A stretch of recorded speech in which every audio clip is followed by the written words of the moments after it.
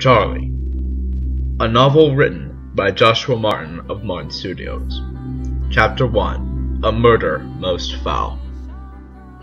A blissful song plays through the chirping crickets of the woods surrounding a church, St. Briar's Church.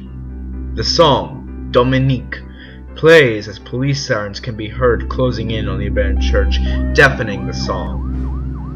Four police Chryslers pull up to the church, their deafening sirens blaring. Two men emerge from one of the vehicles. A man standing outside the church greets the other.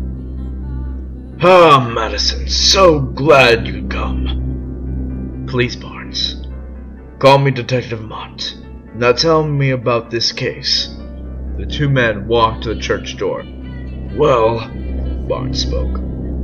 It's mass homicide. Six people found dead within this church, four of which were from that missing persons case two weeks ago. Barnes and Madison enter the main hall of the church to see a ghastly sight.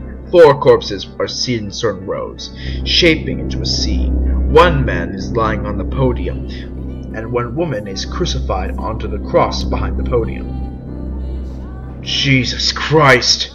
I know, right? Yep, whoever did this is one mean SOB. The music was still playing on the record nearby, but the blood was now dripping on the record, causing certain parts of Dominique to loop continuously. And would someone please turn that damn music off?